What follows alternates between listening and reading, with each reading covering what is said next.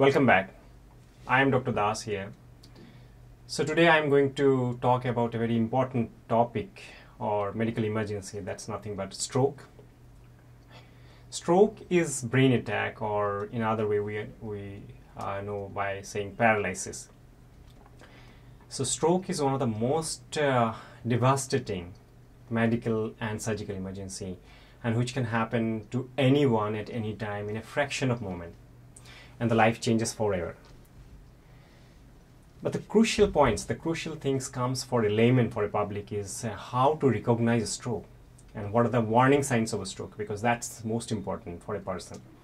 Because if they can recognize then only they will they will come to an hospital or take advice from the doctors.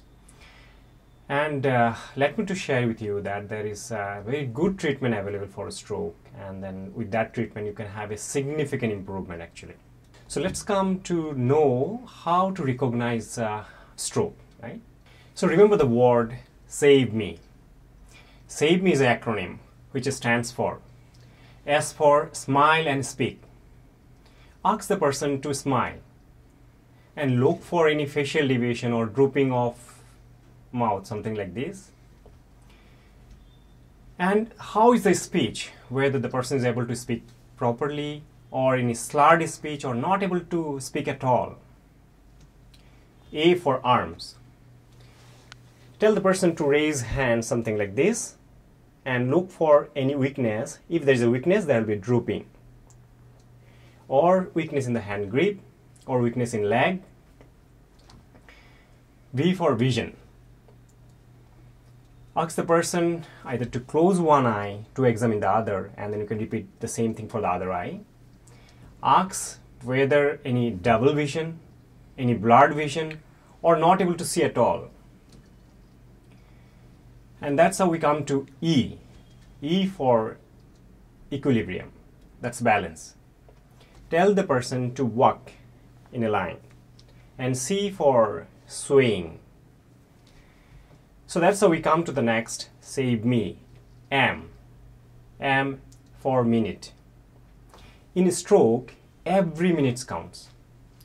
With passing minutes, with every passing minute, there are millions of neurons in the brain which get damaged, and that damage is permanent.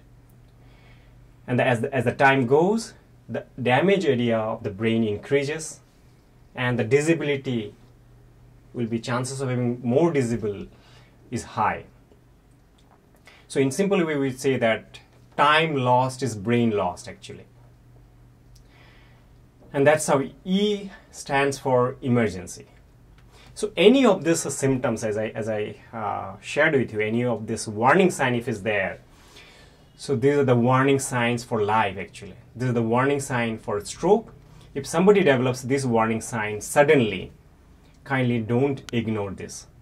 This can be because of stroke and uh, you should call either ambulance or reach to an uh, to a center I would say reach to a center where there is a comprehensive stroke care is available. So let's share the words let's remember the word save me. You can actually save someone's life.